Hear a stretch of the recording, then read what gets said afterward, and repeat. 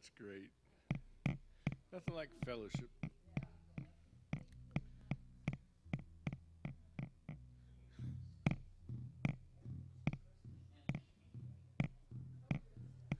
Wow. It's just weird. just too weird.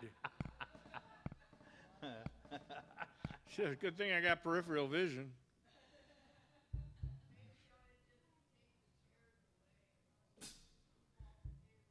That is a good solution. It's like the old Baptist preacher. Everybody would sit in the back. They wouldn't sit in the front row. So he waited till everybody sat down. Then he picked up the pulpit and walked to the other end of the church, made them turn around and said, Now, no more back row Baptists. Yeah. oh, well. well, if we didn't have you guys holding down the middle, it might float away. Yeah. Well, it's that time of the time of history. We'll just roll with the punches. Well, let's go ahead and pray. Father, Lord, we look to you. Where else would our help come from but from you? Lord, we love you. We give you thanks. We thank you for this opportunity to fellowship with the body of Christ, to come together because you've called us together, to worship you, to exalt your name, to lift you up, O Lord, for you are worthy. Hear our praise, Father, as we offer it up. It is a sacrifice of praise, Lord. We bring it to you because you're worthy. And Lord, open our ears to the Word of God today that it might make the changes in us that you desire. For it's in Jesus' name that we pray. And they all said, Amen. Amen. Okay. Very good. How many are wanting a closer walk with Jesus? Well, then, as Bob Newhart would say, just do it! you have to have been there. Yeah. I am weak, but thou art strong. Am I on? Jesus, keep me from all wrong. I'll be satisfied as long as I walk. Let me walk close to thee. I'm not on, am I? No, and you're not plugged in. And I'm not plugged in. What a guy!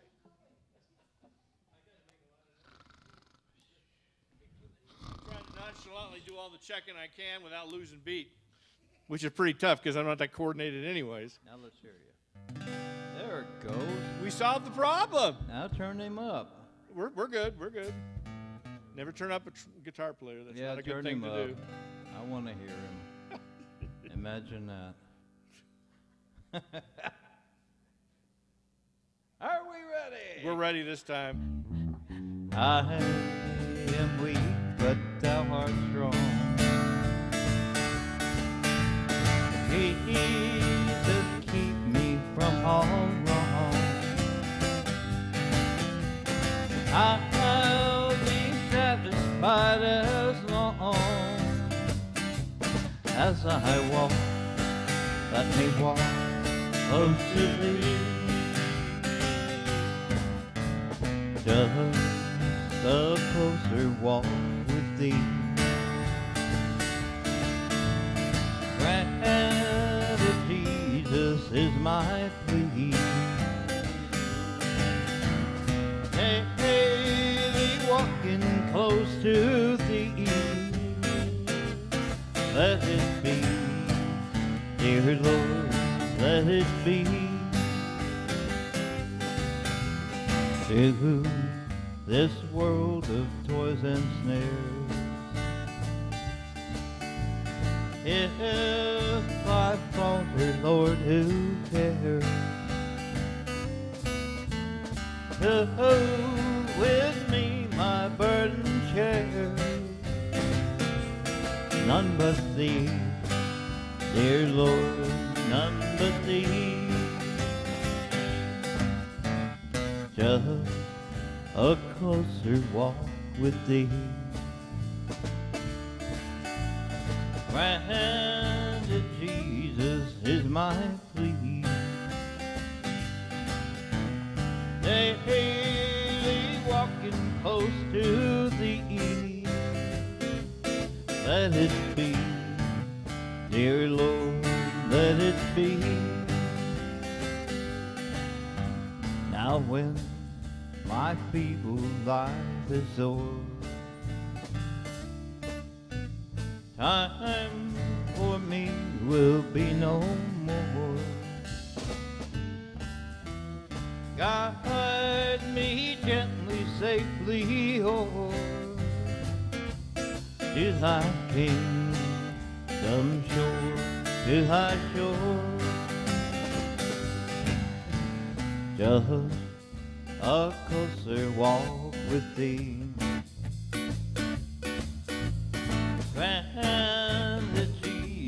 Is my plea. Daily walking close to thee. Let it be, dear Lord, let it be. Let it be, dear Lord, let it be.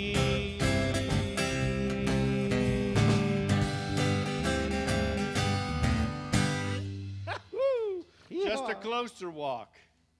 You know, we can always get closer. Amen. Draw closer to Him. Seek Him with all our heart. Hallelujah.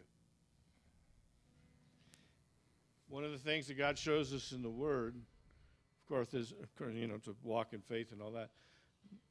But everything's designed that His name might be glorified in all of the earth, all the universe actually but that his name is glorified. And of course, that's that's part of the book of Revelation. If you read it, you know, as you go through, you see that that's the whole issue there. That his name will be glorified in the midst of all the pagan, unbelieving, Babylon type world system world that is opposed to him. But his people will glorify his name. And that's what we're all about. Not loud enough?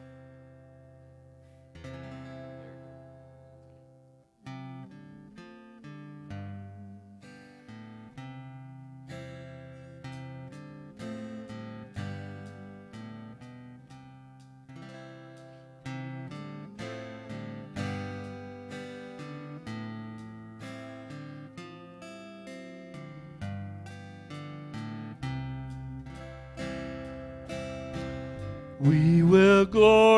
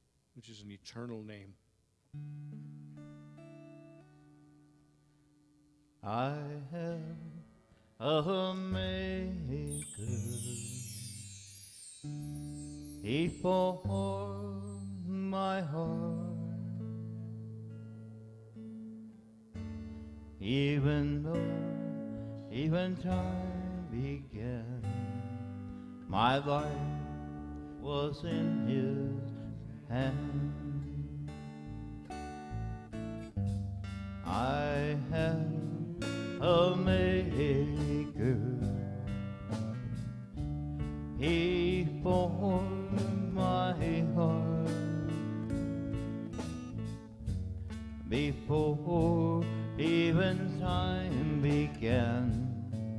My life was in his hand. He knows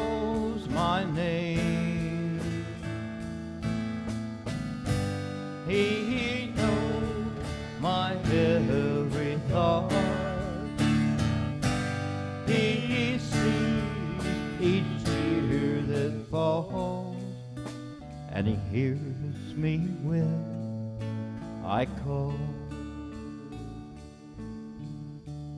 I have a father. He calls me his own. He'll never leave me, no matter where I go. He knows my name. He, he knows my every thought. He, he sees each tear that falls, and he hears me when I I have a Savior. He ransomed me. I have His righteousness throughout eternity.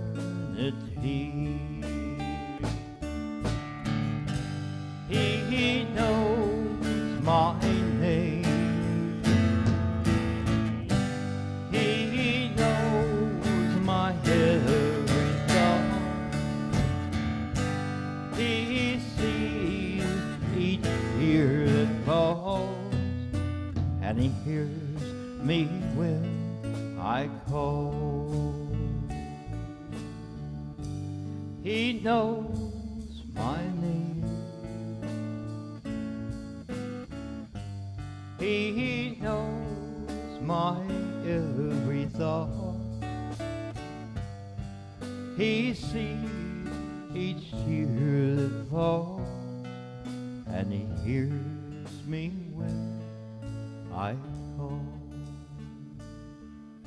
He hears me when I call.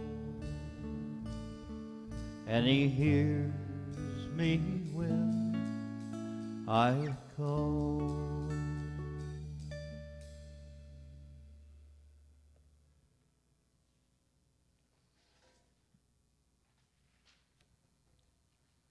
He hears me when I call. Boy, that's a sweet sounding phrase, isn't it? As John says in his first epistle, we know that he hears us. And when we ask anything according to his will, we know that we have what we asked for. Wow. Because he hears us when we call. Man, if you can get that down deep into your heart, it makes all the difference in the world. When you're going through the garbage that we all go through in this life, there's lots of stuff that comes up. But He's there and He hears us when we call. And He wants to turn all that trial and all that tribulation to glory for Him. When I look into your holiness, when I gaze into your loveliness, when all things that surround become shadows in the light of you.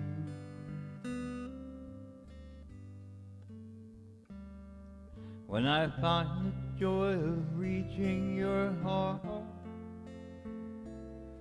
when my will becomes enthralled in your love, when all things that surround become shadows in the light of you. I worship you. I worship you.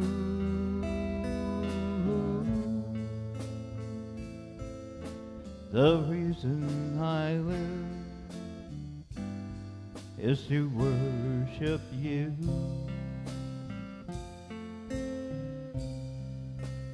I worship you.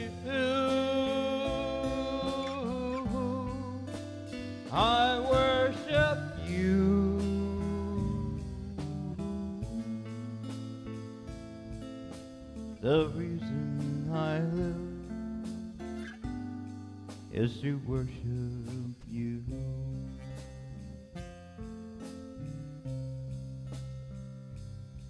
When I look into your holiness, when I gaze into your loveliness, when all things that surround become shadows in the light of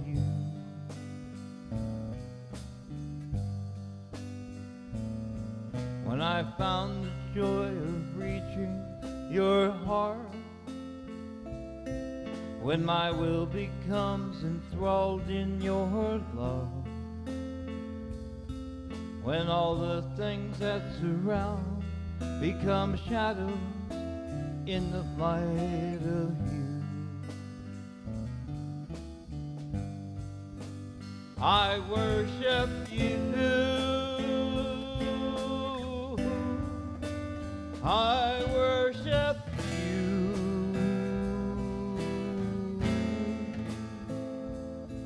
The reason I live is to worship you. I worship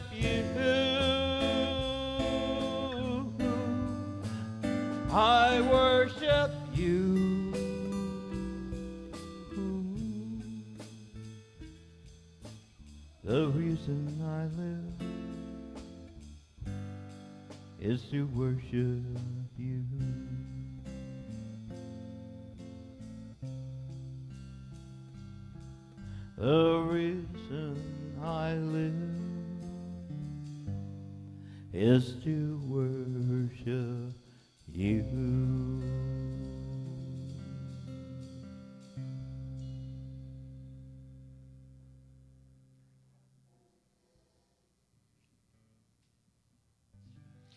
Father, we just approach your throne with our praises, with our needs. Father, with all the things that we've encountered this week, we just come and lay these things down at your feet and know that you love us, and that you're already working out solutions, blessings, things that uh, we're going to need because you care. And we thank you that we can draw close to you. And we do love you, and we sing these songs, Father, to express that love that we have for you.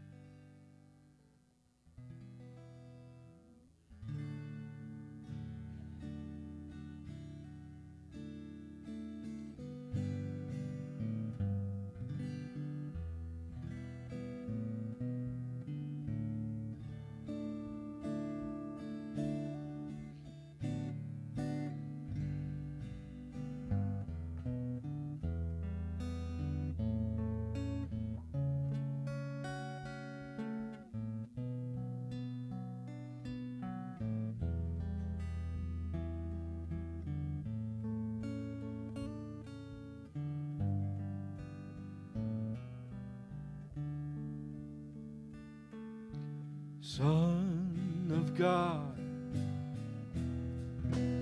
This is our praise song. Jesus, my Lord, I sing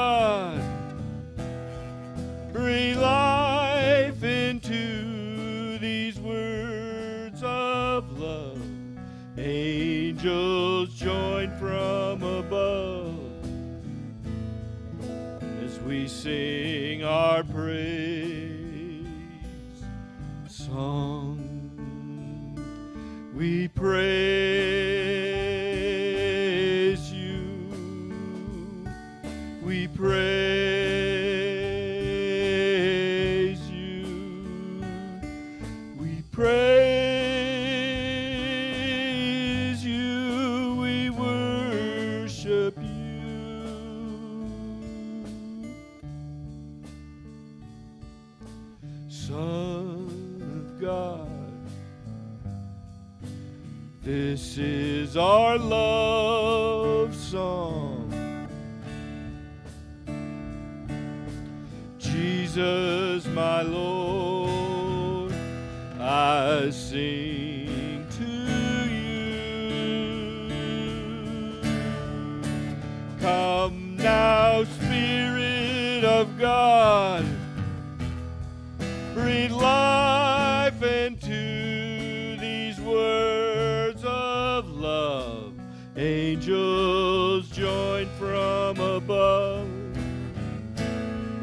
as we sing our love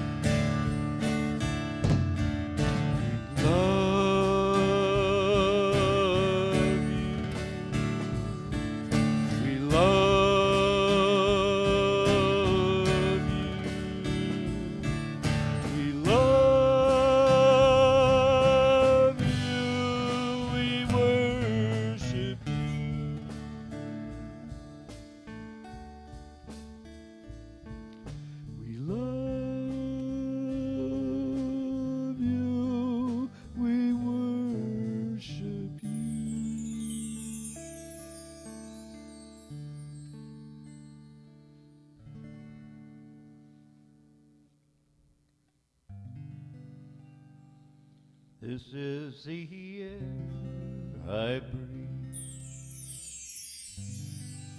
This is the air I breathe. Your holy presence living in me.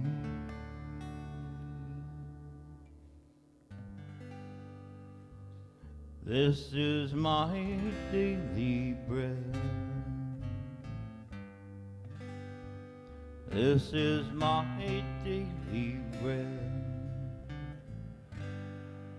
Your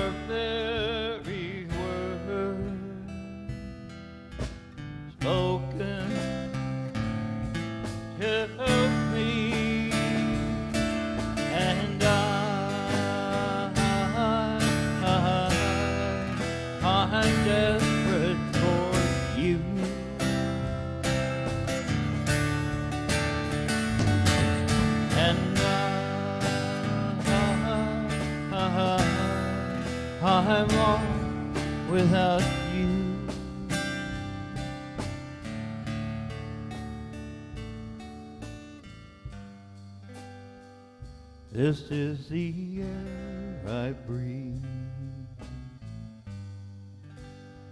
This is the air I breathe.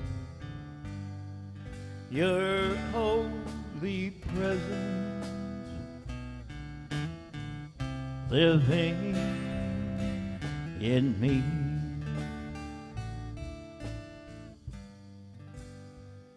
This is my daily bread. This is my daily bread. Your very word spoken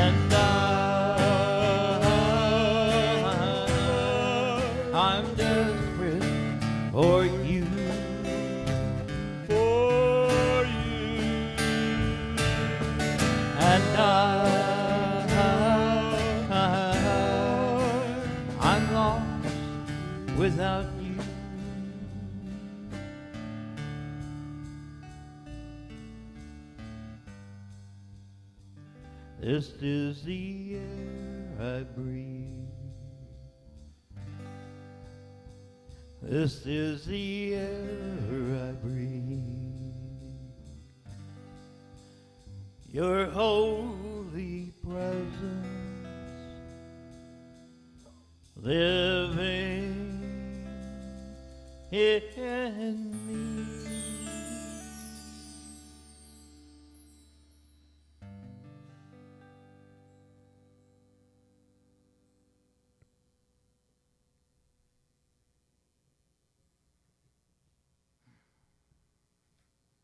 Jesus said, Breathe in the Holy Spirit.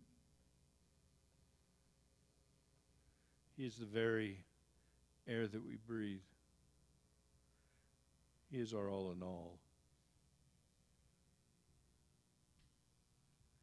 You, O Lord, have the words of life. Where else would we go?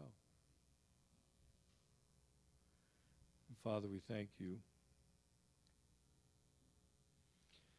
for your watch care over us.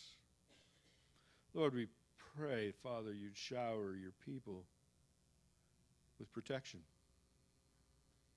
from viruses and other maladies that are out there. Lord, there's a lot of hype in the world. We can't escape it. It's on everything, it's everywhere. But Father, we choose to not be afraid, but we choose to trust in you. For you are the sovereign God. And why should we be afraid when we know that you are in control of all things? We worship you today. We love you. We give you thanks. We ask for your direction this week, that your Spirit would speak clearly to us, that we would know what you would have us do, what you would have us say, what you would have us think. But one thing we do know that in whatever we say or do, we want to do it all to the glory of God. And all his people said, Amen. Amen. Let's take time to fellowship a little bit. The local church is Jesus' idea for the people to come together and be strengthened. So let's do a little of that right now. Brought his people out of Egyptian bondage and into the promised land. So, this is part two of last week's sermon. Um, so I kind of went over it again, and we're going to have a little bit of a review. In the first part of Revelation 8, 6 through 12, we're trying to make sense of the bizarre times that we live in, and they are getting more bizarre every day, aren't they? What we discovered is that one of the benefits of the book of Revelation is its ability to expose us for who we truly are, who we truly belong to. We're either saints or earth dwellers, which is a term John uses to talk about the lost people. We're either saints or earth dwellers. We have been either sealed with the mark of God or we exhibit the mark of the beast. Our name has been written in the Lamb's book of life from before the foundation of the world, or our name is omitted from the book of life.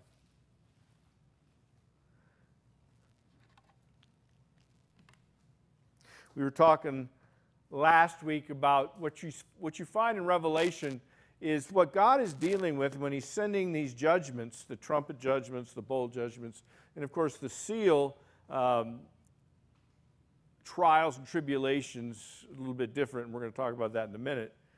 But what we find uh, is that the issue with God is that there's idolatry, there's unrepentance, and there's a persecution of the saints.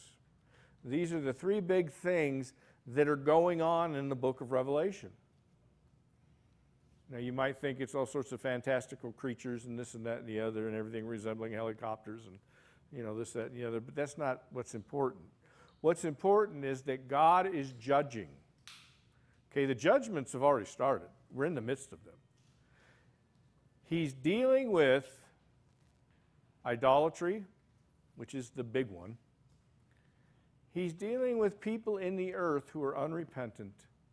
And as always happens, because the world system, which of course is engineered and run by Satan, the world system always, always, always, always finally gets around to persecuting the people of God. Because that's what Satan does. And so we see that being developed in the book of Revelation.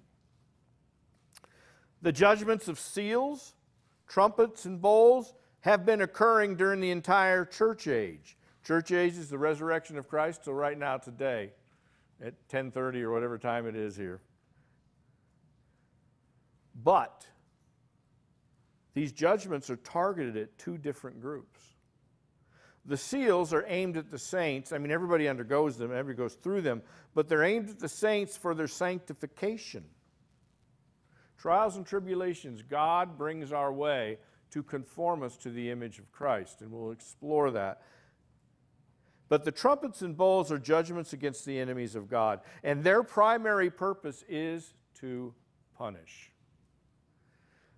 Through trials, the saints learn to persevere. The book of Revelation is about the saints persevering through everything, regardless of the cost. It's a book of hope, it's a book of encouragement, but it's, about a, it's a book about persevering in the midst of everything that's going on. Through trials, the saints learn to persevere and glorify. We will glorify the, glorify the sovereign God because he's worthy. While the wicked just they just increase in the rebellion, and we see that as we move our way through Revelation. The wicked just keep on being unrepentant.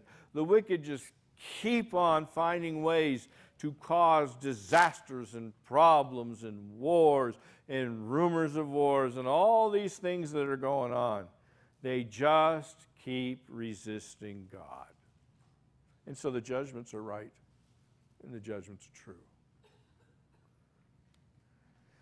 We also discussed last week how the doctrine of election explains Pharaoh's strange behavior against Moses and the Israelites. Well, you know, his heart was hard and he kept, kept doing stupid stuff and then going back on his word. What was that all about? Well, both the trumpets and the bowls are modeled after the plagues of Egypt. It was God, as you can see from the slide, it was God who unapologetically hardened Pharaoh's heart to fulfill his divine decrees. As we see, God has mercy on whomever he wills, and he hardens whomever he wills for his own purposes and the glorification of his name. Oh, that's just not fair. So show me in the scriptures where fair enters into the discussion. Fair is a human construct, and it's pretty bad because it's all, always pretty hypocritical. It's not about fairness, it's about righteousness, it's about truth, it's about God glorifying His name, it's about God seeing His purposes come to fruition. The church is being prepared for the great second exodus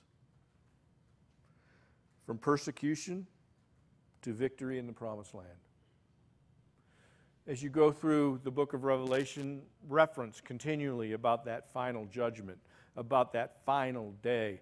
That is the day of our release from complete all this bondage in this earth and the different things going on. That is when we enter in to the promised land, eternal life, the kingdom of God. Now, the enemies of God will be judged, and it's going to be a horrible thing. But for us, it's a second exodus of the people of God into his kingdom or the promised land. You see, we're smack dab in the middle of divine judgment. It's all around us. You know it. You've all expressed it in different ways. All you got to do is watch the news. And if you don't kick your TV in, at least you'll understand what I'm talking about, right? It just drives you insane what's going on in our culture. And it's not just our culture, it's going on throughout the world. Stuff's happening, it's snowballing, things are happening. Is God sovereign? Yeah, He's sovereign. Is He in control of everything? Yeah. Uh huh. Is He accomplishing His purposes? Yep. Probably the best thing for us to do is get on board. Find out what he's doing. Join him. Join him in what he's doing. The culture is in decline, and it's gearing up for an assault on God's covenant people. You might know from last week some of the Supreme Court decisions, etc., that religious liberty is kind of the, the big topic right now. Things going on. Why is that? It's because the world system, Babylon, if you will, will always come against the people of God. You're getting a taste of it. You're beginning to see it. Stuff we read about, we thought, oh, that would never happen here. It's happening here. It's getting crazy.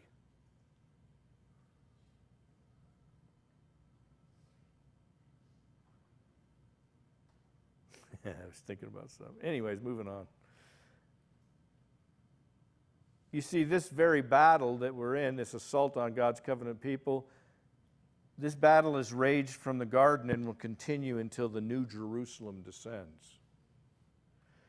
These are the events that are described in the book of Revelation. How you respond to this battle, though, reveals who you belong to. Words are cheap. You can say whatever you want. But we are being exposed concerning who we belong to.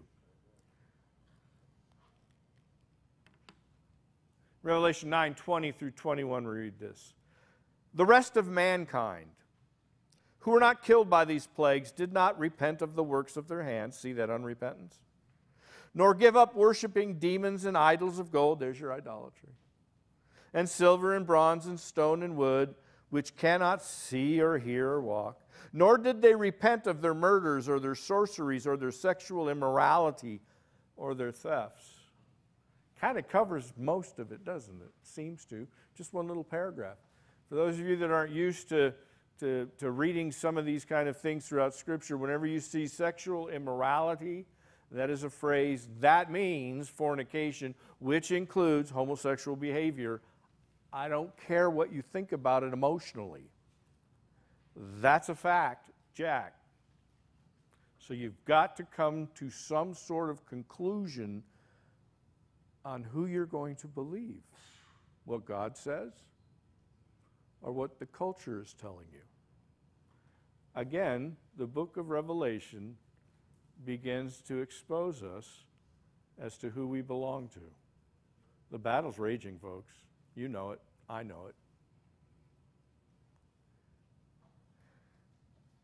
Last week I said, well, we, we got through really just the whole introduction because there was so much to give you to, so you would understand when we start hitting the plagues and all that what was going on. So now we're going to start looking at some of these things in Revelation chapter 8, uh, where we see the trumpets being blown, the trumpet judgments, and things are beginning to happen. Let's look, beginning with verse 6, Roman, excuse me, Romans, Revelation chapter 8. It says, Now the seven angels who had the seven trumpets prepared to blow them.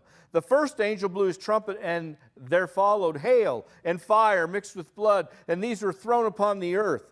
And a third of the earth was burned up, and a third of the trees were burned up, and all the green grass was burned up. Wow. Sounds spooky. You see hail and fire mixed with blood? That's just patterned after the Egyptian plague in Exodus chapter 9. See, all the stuff that's going on in the Old Testament, that's not a separate issue at all. That's the precursor. That's what God is saying. I started telling you this in the book of Genesis, is what he's saying and I showed it to you throughout all of the prophets and the wisdom literature and all stuff we call the Old Testament. I showed it to you all through there. And Jesus came saying, Do you not realize that all these things were talking about me? It's all about Him. It's all about Him. So it should not be a stretch. It should not be a great surprise to us when we look at the book of Revelation and go, oh, that's just a recapitulation, a recap of the Egyptian plagues. The stuff that's going on in the Old Testament, there's nothing new under the sun, folks. It just keeps going on and on and on and on. And God is showing us that nothing's changed, and especially with Him, nothing's changed. He's bringing the world system, that which is opposed to Him, He's bringing that, Babylon, for lack of a better word, to judgment. Now, unfortunately, well, it's not unfortunate, but you may think it is, we're stuck in the middle with you, right? We're stuck in the middle of this situation. So we're encountering it as we walk through this life. All this stuff, this judgment is going on in the world, and we're right smack dab in the middle of it. But you know what? That's okay. Because the seal judgments is an expression, is something that God is showing us, saying, Yes, my people will go through trials and tribulations. It will be difficult. Some of you will lose your lives as my witnesses. But that's okay because you belong to me and I will bring you safely home. And they all said, Amen. But the world cannot say that. Those that are idolaters, those that persecute the saints, uh, you know, all those things that we were talking about the idolaters and the persecutors, and what was the third one? I forget too. Anyways, it just, woo. The unrepentant, thank you. That's going on all around us too, isn't it? Does that describe you? I would hope not. But that does describe the people of the earth, the earth dwellers who are unrepentant. And God is judging it. See, most of us have come up through a Uh, an end times theology that says, no, all of this is going to happen way up ahead. Right? No, it's happening now. We've just interpreted it wrong for so long. We're in the midst of it. And there is judgment coming. And yes, things will probably get a little bit more intense near the end. No one would doubt that. But we're in the middle of this whole thing right now.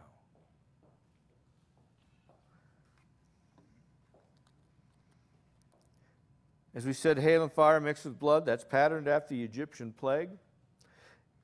And it will cover the whole earth this time. And it has. Throughout the book of Revelation, fire is figurative of God's holy judgment. See, if you viewed that literally, like, oh, you're talking about flames, you know, forest fire. No, it's not what it's talking about. It's talking about the judgment of God. As Al pointed out earlier in Sunday school, He is an all consuming fire. When Jesus returns, what will be protruding from his mouth? A double edged sword. What is that for? Judging the nations. Fire, judgment. God calling to account. The parts of the earth affected by the first trumpet are those dealing with food supplies. Same thing that happened in Exodus chapter 9. You can look these up later, they're in the notes for you. I'm not going to go into it. As a foreshadowing of this trumpet judgment, Ezekiel prophesied that disobedient Israel would be divided into thirds for judgment. A third would be afflicted with famine and pestilence. A third would die by the sword, and a third would be exiled. It's in Ezekiel 5. Judgment in thirds is a common formula for the outpouring of divine wrath. That's why Ezekiel shows it to us, and then John reveals it from his visions and revelation. Nothing's changed. God's still operating in the same way. So we're looking back at the Egyptian plagues and how God was punishing Egypt, but at the same time, what was He doing? Providing grace to His people, bringing them out of bondage and into the promised land. If you've been sitting through Sunday school for the last three years,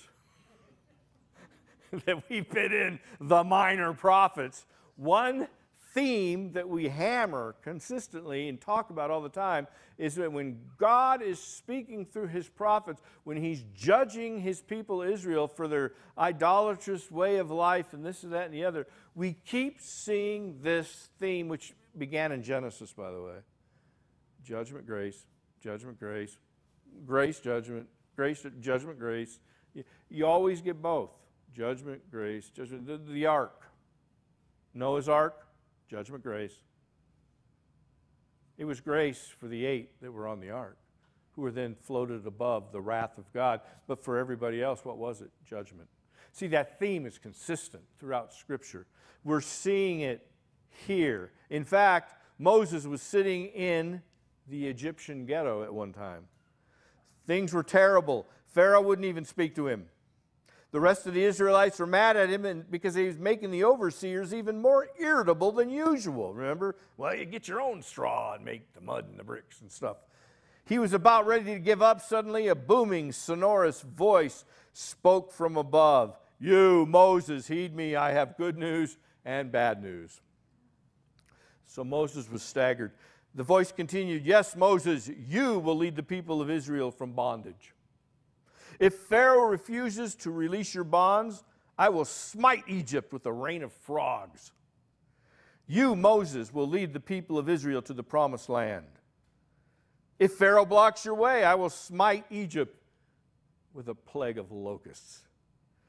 You, Moses, will lead the people of Israel to freedom and safety. And if Pharaoh's army pursues you, I will part the waters of the Red Sea to open your path to the promised land. Well, that's all true, right? We know that. Moses was stunned. He stammered, That's fantastic. I can't believe it. But what's the bad news? You, Moses, must write the environmental impact statement. If you ever dealt with the government, you get that one.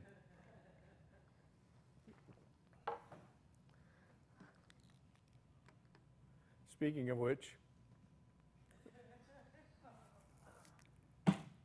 I love that.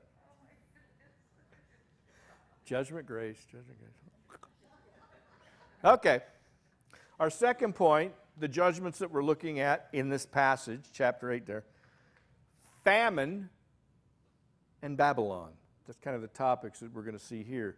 The second angel blew his trumpet, and something like a great mountain burning with fire was thrown into the sea, and a third of the sea became blood. A third of the living creatures in the sea died, and a third of the ships were destroyed. You see the formula of thirds that Ezekiel showed us, the judgment that went against Jerusalem. Okay? We're seeing it here. The second trumpet continues the judgment initiated by the first one. Mountains in Revelation speak of kingdoms, good and bad, earthly and heavenly.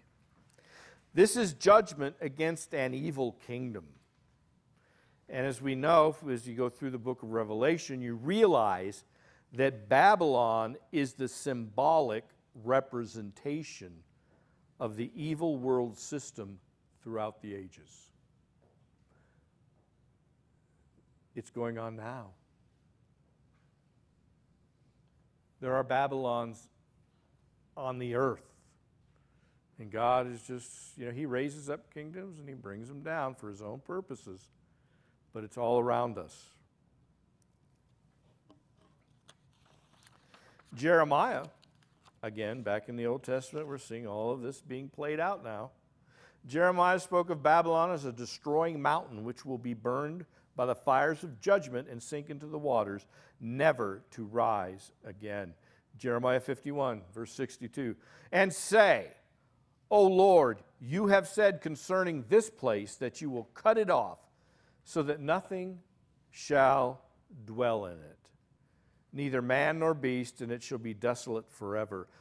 When you finish reading this book, tie a stone to it, cast it into the midst of the Euphrates, and say, Thus shall Babylon sink, to rise no more, because of the disaster that I'm bringing upon her, and they shall become exhausted. Thus far are the words of Jeremiah. Well, we're looking for well, who's he talking to, what's going on. So there's that first layer of prophecy. But what he's really talking about is that final judgment that we see in the book of Revelation. That Babylon is who he's talking about. Sure, there's the, the, the, the events that are occurring in his life right then and there, but the fullness, the fulfillment of it is just what we're looking at here. Babylon will be destroyed.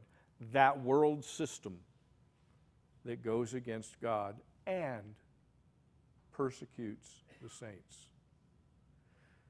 God was telling us all this in the Old Testament. All he's doing in the book of Revelation is recapitulating it all, putting it all back together for a recap of what he's already said. You see, it's interesting is we find all these symbols and different things kind of difficult, and we have to dig and search and find out what's connected to what and this, that, yeah. Most of the Jews who heard this thing in the first century knew exactly what he was talking about. They knew the Old Testament frontwards and backwards. They knew it. They got it. We're the ones that seem to be having trouble. A third of the sea becoming blood is a direct allusion to Exodus chapter 7.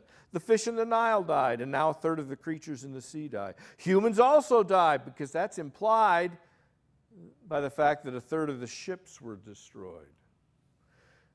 What we need to understand this is a picture of famine as maritime food sources are affected and economic deprivation is felt throughout the world. Babylon, the evil world order, is the source of maritime commerce. Go and read chapter 18 in Revelation, all that. Oh, Babylon, the smoke's rising from Babylon. They're all crying, oh no, well, whatever going to happen to us? You see, Babylon, the world system represented their economy and everything, and God was destroying it, burning it. Final judgment. We're getting a taste of it here. So, to sum up, the second trumpet blast speaks of the sovereign God consistently destroying kings and kingdoms throughout the church age, culminating in the final judgment of the rebellious world system as symbolized by Babylon. The third point, still talking about judgment with the third angel blowing his trumpet wormwood and suffering. The third angel blew his trumpet, and a great star fell from heaven, blazing like a torch, and it fell on a third of the rivers and on the springs of water. The name of the star is Wormwood. A third of the waters became wormwood, and many people died from the water because it had been made bitter. Now, a burning angelic being falling from heaven continues the theme of famine, as a third of the rivers and springs are now polluted. This great star is an angelic being representative of an earthly person or kingdom under God's judgment. Such judgments continue throughout history until the return of Christ. Babylon is always symbolic of the satanic world system that's aligned against God's kingdom. Now, in Isaiah chapter 14, we see another prophecy. There's a speaking to the king of Babylon, but that's just the first level of the prophecy. As you look above and see where is this really going, it's going right to here in the book of Revelation. Babylon's guardian angel is pictured in Isaiah chapter 14 as a star cast down from heaven into Sheol. That's the realm of the dead. The star is called wormwood, based on Jeremiah chapter 9 and chapter 23. Wormwood is a bitter herb which contaminates water and is used figuratively to refer to the bitterness of suffering resulting from divine judgment. Deuteronomy 29, Proverbs 5, Amos 5. Speaking of bitter herbs, many of you have probably attended a Seder, Passover Seder meal. Maybe not. Okay. Did you know that the horseradish root it goes, it goes back in time as far as the matzah does. See, horseradish is a bitter herb that's not a bitter herb, it's bitter root, but it's put on that plate to symbolize the bitterness of suffering and judgment. The horseradish root also crossed the Red Sea with the fleeing Israelites. The Israelites were slaves at the time and only had access to a few vegetables. The hard and woody horseradish was one of them and was a household staple you know, kind of like our salsa. Make bland foods taste a little bit better, okay? It is also one of the ingredients on a Seder plate representing the bitterness of slavery. Now, nearly all the fleeing Israelites took horseradish with them. Moshe and Sadie, however, while gathering up their scant belongings, found to their dismay that they had run out of horseradish. Sadie immediately sent Moshe into the field to dig up a large horseradish root to take with him. However, because it was dark and everyone was running around in a panic, Moshe dug up a ginger root by mistake.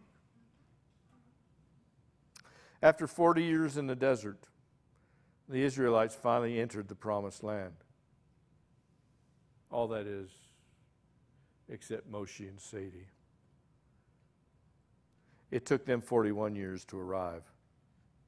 When asked where they had been, Sadie, now grown old, shrugged her shoulders and replied, Moshe insisted on taking an alternative route.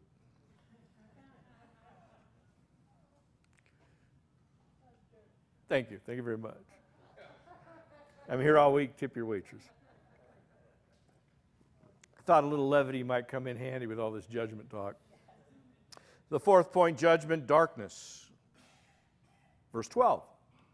The fourth angel blew his trumpet, and a third of the sun was struck. And a third, notice the third, and the third, and the third, and the third, just like your recipe. I was thinking of that when you were telling me. What was a third teriyaki, a third Worcestershire, and a third soy? I got it. Smoke me a roast. All right, anyways and a third of the stars, so that a third of their light might be darkened, and a third of the day might be kept from shining, and likewise a third of the night. This is an allusion to the plague of darkness in Exodus 10. That's where it comes from.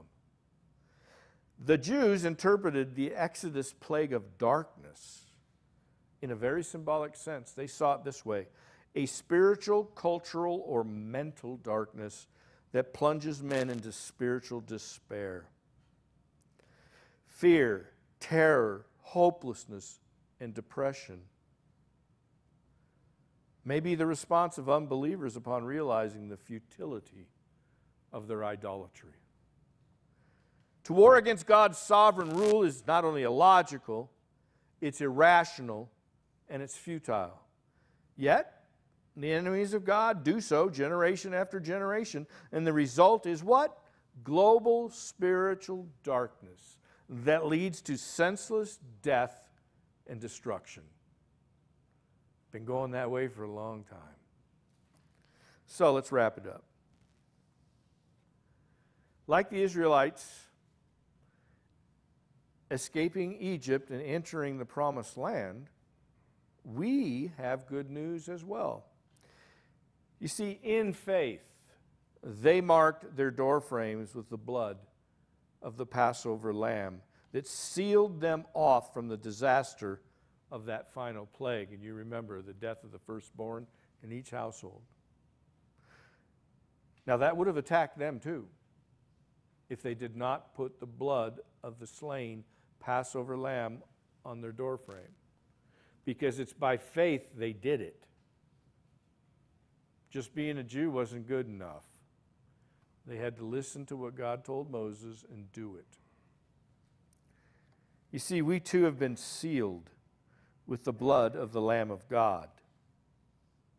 The final judgment upon the ungodly will not fall upon us.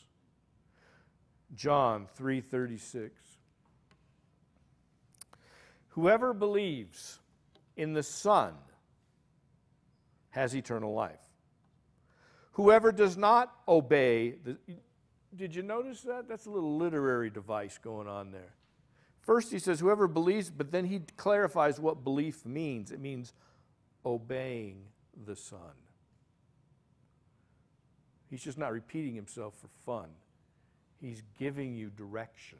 He's explaining what believing in the Son is. Well, how did Jesus say it? If you love me, you'll do what I say. Whoever believes in the Son has eternal life. Whoever does not obey the Son shall not see life, but instead, the wrath of God remains on him. In the book of Revelation, we are seeing the wrath of God being poured out upon God's enemies. But that is not our future. Because the wrath of God does not abide, does not rest upon the righteous. And why are we righteous? because of Jesus Christ and his righteousness. Amen? Otherwise, you'd be in the same boat. You know, Paul says the same thing in Romans 5 9.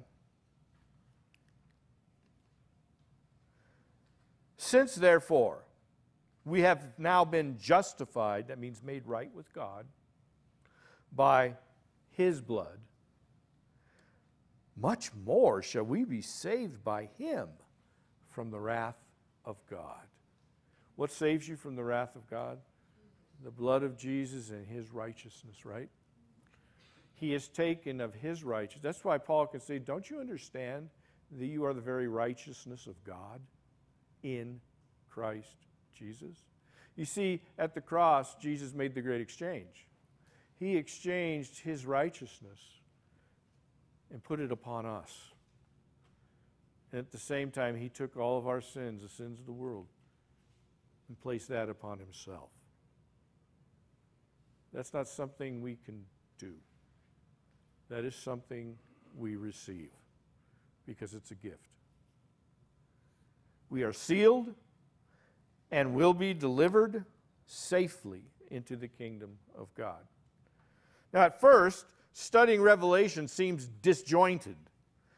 However, once we connect the continuous revelation found in the Old Testament with John's written account, we see how everything falls into place and provides a beautiful picture of God's sovereign rule and his love and grace toward his people.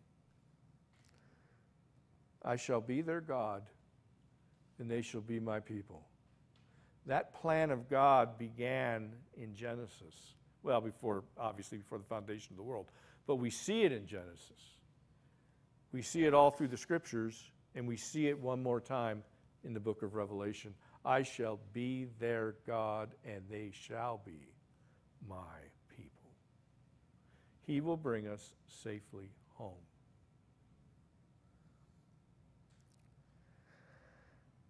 You see, all the scary pieces of Revelation, when combined, put together, and mixed, oops, provide a beautiful picture of grace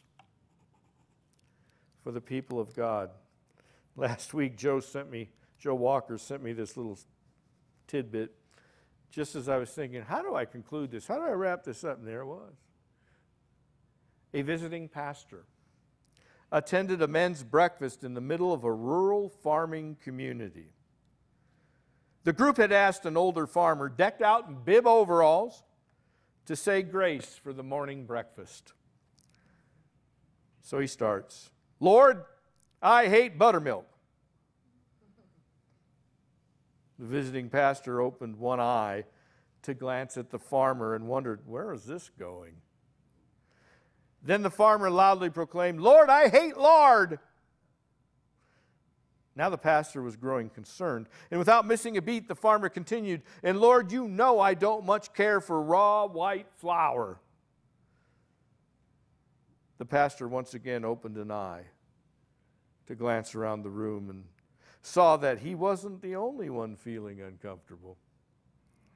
Then the farmer added, But Lord, when you mix them all together and bake them, I do love me some warm, fresh biscuits.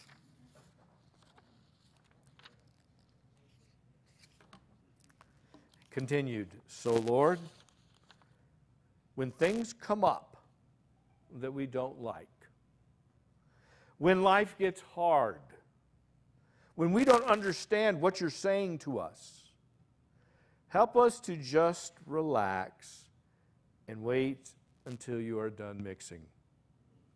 It will probably be even better than biscuits. Amen. Living through God's judgments, well, that's difficult. Yet trials and tribulations are necessary. They are necessary sanctifying agents. Sanctifying means agents that make you holy, agents, things God's using to conform you to the image of Christ. Trials and tribulations are necessary sanctifying agents in a Christian's life. You ever wonder, how come all the bad stuff always happens to me?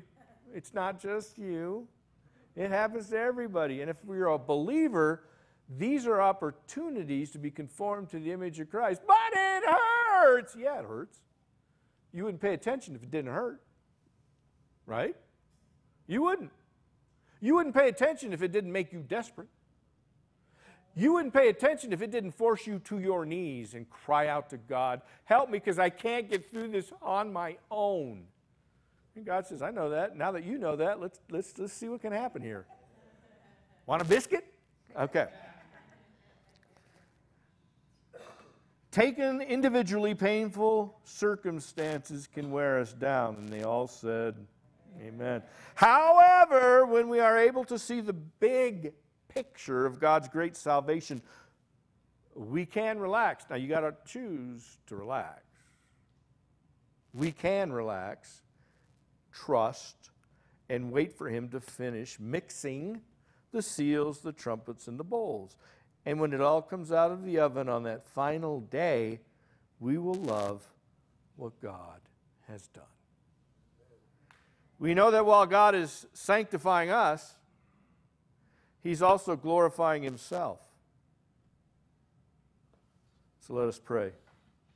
Lord, give us the strength, the wisdom, and the perseverance to seek your glory in everything you bring into our lives.